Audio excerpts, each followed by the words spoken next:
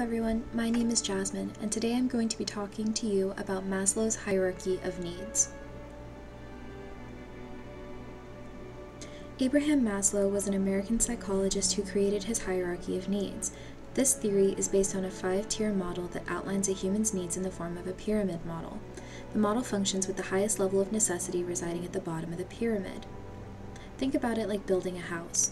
You need the foundation set in the ground before someone is able to build a house. The pyramid functions in a way that dictates that the lower levels of the hierarchy must be satisfied before an individual can attend to the higher of levels. The lowest level of the pyramid is a human's physiological needs.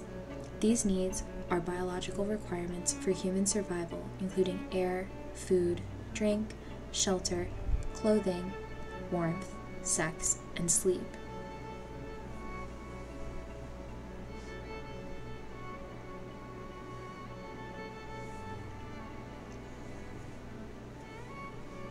These needs rest at the foundation of the pyramid because without these needs being met, the human body cannot function optimally. The second level of the pyramid are human safety needs. These needs include protection from the elements, security, law, order, stability, and freedom from fear.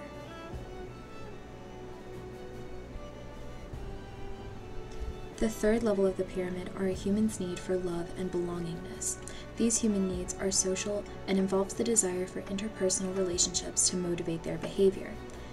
This could include friendships, trust, love, or being a part of a group, like a work group or family. These needs involve intimacy, trust, and acceptance. The fourth level of the pyramid are a human's esteem needs.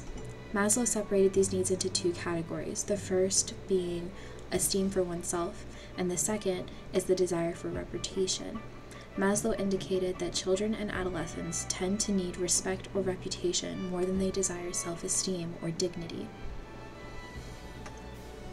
The fifth level of the pyramid are a human's need for self actualization.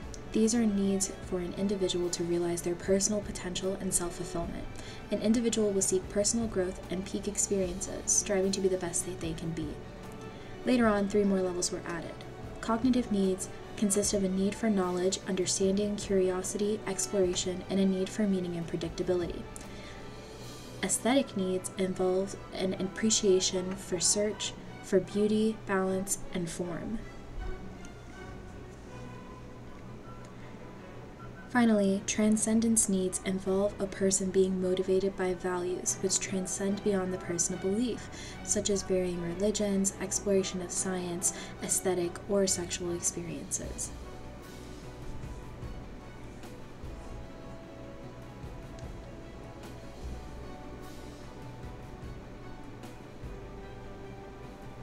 Thanks for exploring Maslow's hierarchy of needs with me. I hope you enjoyed watching.